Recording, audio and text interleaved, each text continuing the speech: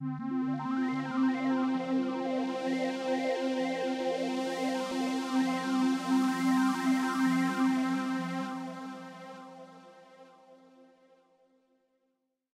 den. Vítám vás u krátkého videa shrnující moje semestrální práci z předmětu BMGA. Zpracovával jsem verzi zadání s robotem. Jako objekt ke zpracování jsem si vybral droida ze světa Star Wars. Tento droid se jmenuje PD-1, který byl poprvé uveden ve hře Star Wars Jedi Fallen Order z roku 2019. Záběry z této hry a hlavně tohoto droida právě můžete vidět před sebou. Před sebou nyní můžete vidět dvě konečné bitmapy. Na prvním snímku sedím doma v depresích u neúspěšného testu a droid PD1 mi sedí na ramenu a motivuje mě.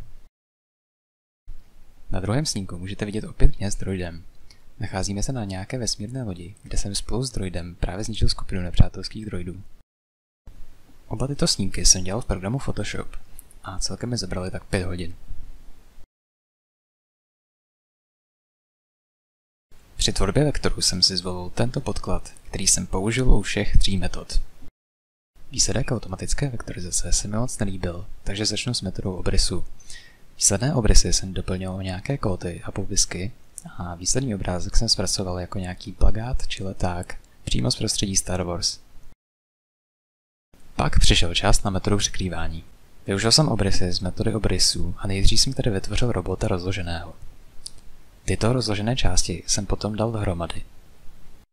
A následně jsem z těchto dvou prvků vytvořil zase nějaký leták či plagát. Tvoření vektorů už bylo trochu obtížnější než bitmapa, proto mi tato práce zabrala celkem tak 12 hodin. Použil jsem program Illustrator.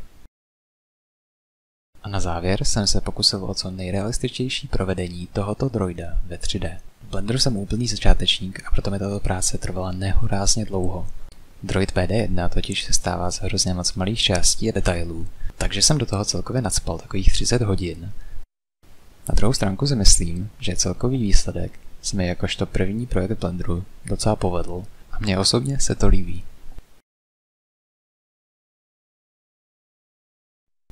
Na závěr bych chtěl zmínit, že tato práce mě celkem bavila.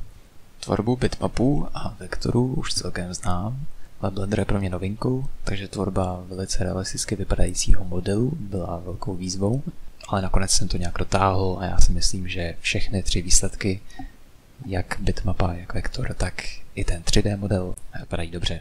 A rozhodně můžu říct, že jsem se něco nového naučil, hlavně je to teda tvoření úplně čehokoliv v Blenderu, protože to jsem dělal poprvé a z této práce jsem se naučil opravdu mnoho.